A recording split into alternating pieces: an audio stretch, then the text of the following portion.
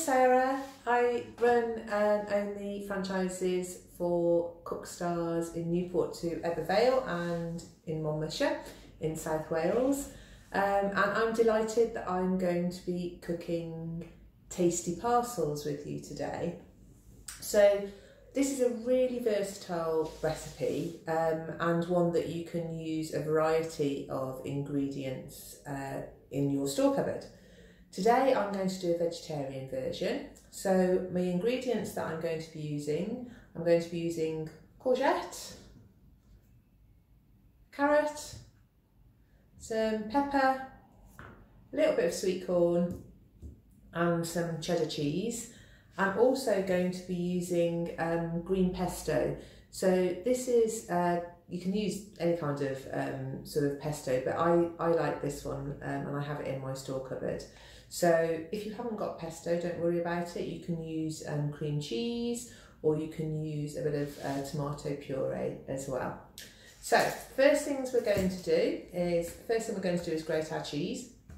So the cheese is around about um, 100, uh, 30 grams of cheese. Um, I'm using cheddar. I like to use a mature cheddar just for the taste. You can use a red Leicester or blue cheese, red anything really, but um, I like cheddar and I've got a lot of cheddar in the fridge so it was easy for me to use this. So you're just grating it and once you've grated it I'm going to uh, just put that into this bowl here. Reason being is I'm going to use this grater for putting everything else in, save washing up. So next thing I'm going to grate is the courgette.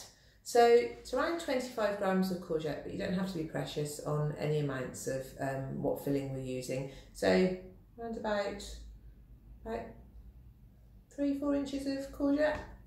Now because courgette is very, very soft, it will take a short amount of time to actually grate. So we'll grate this in.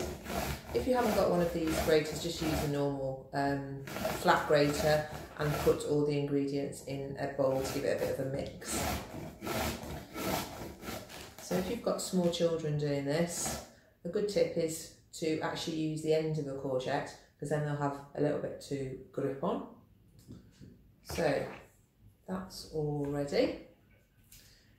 Next ingredient we're going to grate is our carrot. So obviously the carrot is a little bit uh, tougher. Again, we're going to use about three, four centimetres of um, carrot. I always cut it a little bit more than I need, so again for safety. So, those are the carrot and the courgette in our bowl. I'm now going to add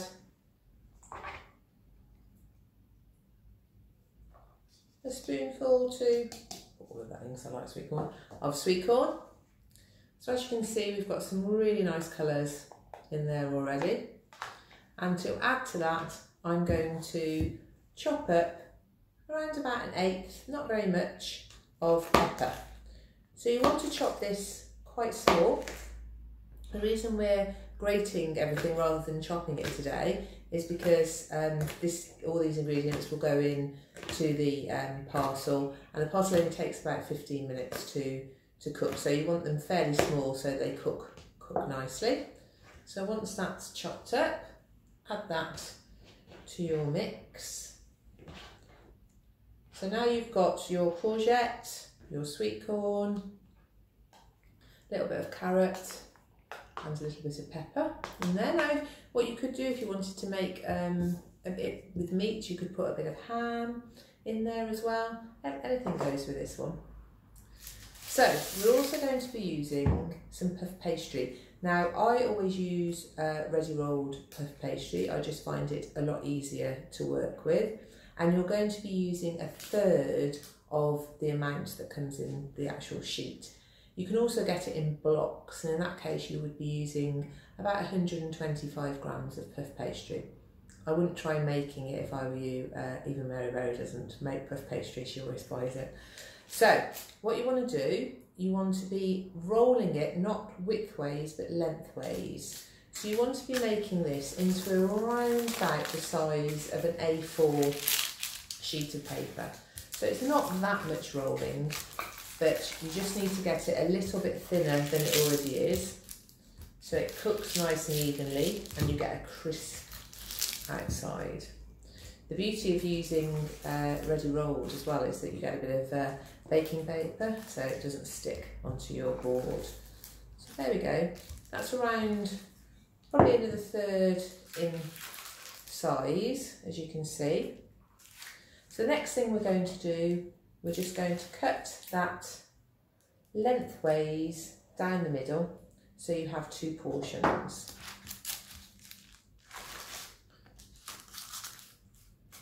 Once you've cut that, it's now time to add your pesto or your tomato puree or cream cheese, whatever you're using as that flavour base. Around about a teaspoon on each and just make sure it's smoothed onto the pastry. You want to be leaving around about half a centimetre gap all the way around, just so when we fold it, the filling doesn't squidge out. So that is, oops, nearly lost it there. That is the two done for you there.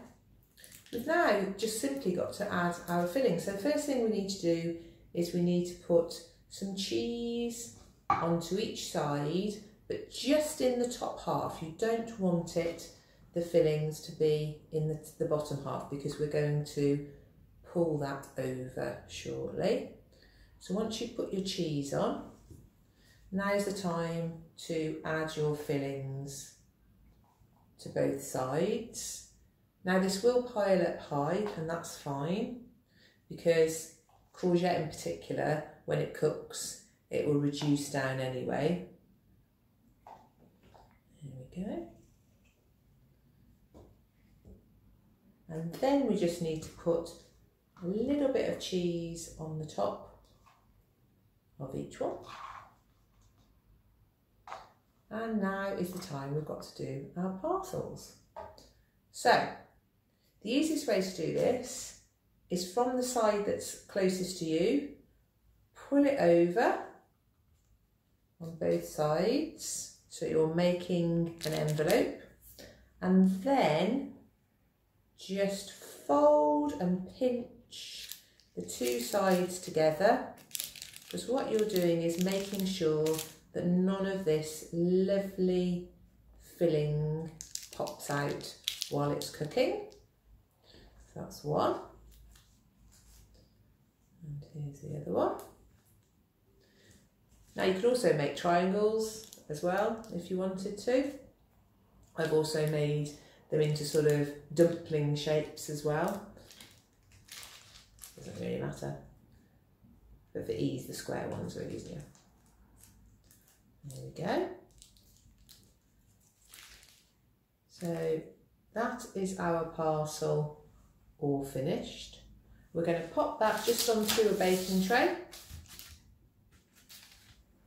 And the other one on the baking tray. Now, you need to put that in the oven, and it's quite a hot oven, around 200 um, degrees fan for about 12 to 15 minutes. I would check at 12 minutes. It would need to be a lovely golden brown. And I've made a couple earlier so you can have a look. So these were in the oven for 15 minutes. As you can see, quite a nice size. If I cut one in half for you. There you can see all the lovely filling. Absolutely, it smells absolutely delicious. Now these freeze really well as well, so you can make a few, just wrap them in either some um, baking powder or baking powder, baking um, sheet or some um, silver foil, pop them in the uh, freezer and they they freeze really well and uh, you can use those as you want to. So I hope you enjoyed this um, tasty parcels um, and I hope you're all very safe and well and hope to see you soon. Happy cooking. Bye bye.